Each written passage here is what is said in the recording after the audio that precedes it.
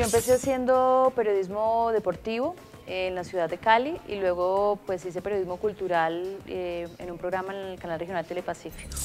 Llegué a un lugar que era un programa de opinión eh, de gran audiencia y allí me veo una persona que es Mauricio Gómez y me dice usted tiene que irse a Bogotá y él casi casi como el contacto con Caracol Televisión, me hacen una entrevista y empecé los fines de semana a hacer noticias. Yo creo especialmente que la Internet es una gran plataforma de comunicación.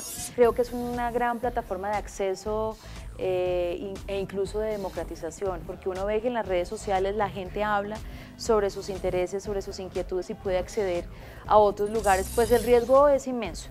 Muchas personas han señalado y han dicho que es el gran problema del periodismo actual, que se quedó al periodismo del escritorio, donde a través de las redes sociales quería ahondar en la información. Cuando usted hace televisión tiene que tener contacto con la calle y tiene que hablar con la fuente.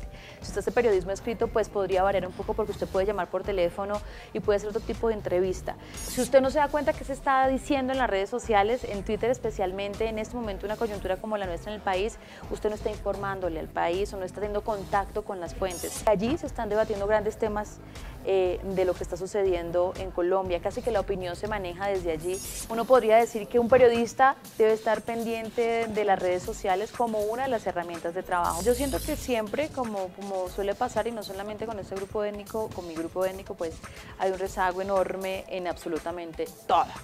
Sin embargo, a mí me sorprende muchísimo que el tema de las tecnologías yo siento que están súper conectados. Un gran porcentaje de quienes me siguen hacen parte de la comunidad porque se sienten representados y hay unos puntos de encuentro y en común que serían bellísimos explorar y explotar en, las, en las TICs. Hola, yo soy Mabel Lara y soy una ciudadana digital.